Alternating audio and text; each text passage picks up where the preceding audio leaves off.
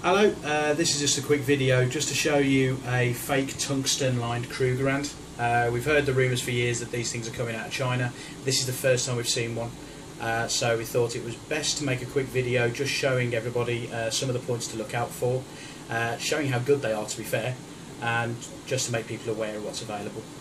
Uh, the coin at the top is the actual fake at the moment, dealt with this one.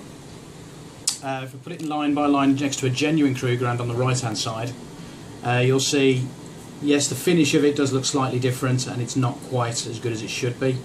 Uh, but this is only when you compare it to a real one. Uh, you wouldn't really notice if it's just stood alone. Uh, weight wise, you will find they are weighing correctly. As they're using tungsten, they can get the weight completely correct while still keeping the thickness of the coin accurate. Uh, it's coming in at 33.9 grams, as we would expect.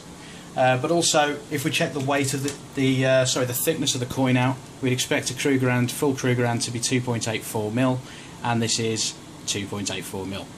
So, using tungsten, they've managed to get around the fact that usually the fake Krugerrands and fake coins are thicker than the originals. These are bang on.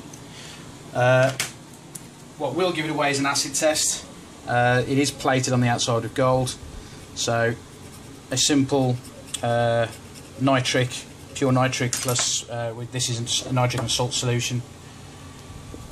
We put that on there. You should start to see it go green.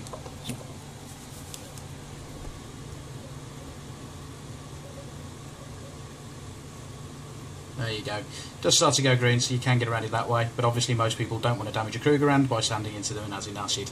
Uh, but with the quality of these fakes, may be necessary. Anyway, hope this has been in, uh, useful information for you. Um, thanks for watching.